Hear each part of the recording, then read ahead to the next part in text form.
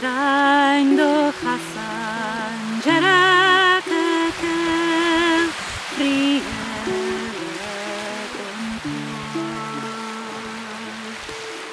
Kile priče